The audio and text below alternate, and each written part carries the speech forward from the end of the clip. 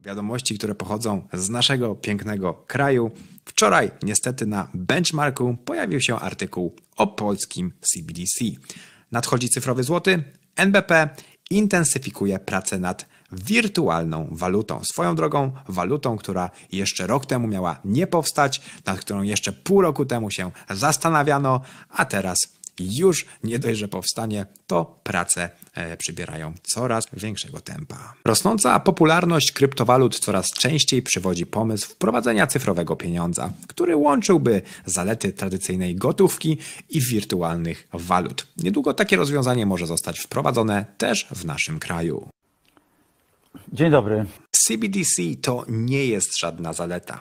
Oczywiście będzie ono tak reklamowane, będzie się wmawiało starym babciom, że gdy będą miały waluty cyfrowe, to nikt ich im nie ukradnie, ponieważ nie będzie kieszonkowców, e, a jeżeli ich pieniądze, ich e, waluty e, cyfrowe powędrują na czyjś portfel, to będzie wiadomo, kto jest złodziejem.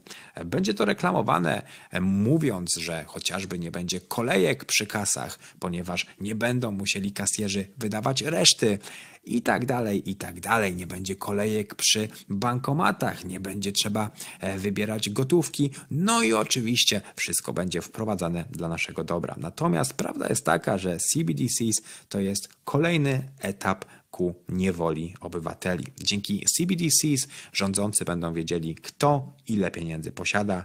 Dzięki CBDCs będzie można wyłączyć każdego obywatela, chociażby w Polsce padają pomysły konfiskaty prewencyjnej, czyli najpierw blokują wam wasze pieniądze, oskarżają o coś, a potem musicie tłumaczyć, że nie jesteście wielbłądem. Dzięki CBDCs podatki będą ściągane w 100%, no i dzięki CBDCs już niczego przed rządem nie ukryjemy.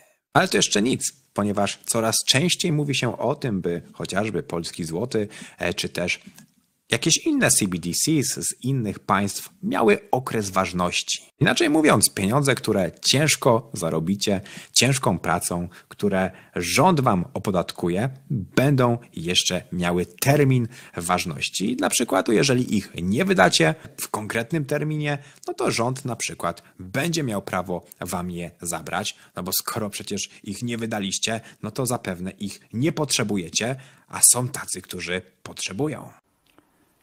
Dzień dobry. W magiczny sposób, gdy coraz głośniej mówi się o polskim CBDC, Tadeusz Kościński zrezygnował z funkcji ministra finansów i mówi się, że człowiek, który go zastąpi, to jest właśnie ten człowiek, który dostał zadanie by wprowadzić w Polsce CBDC.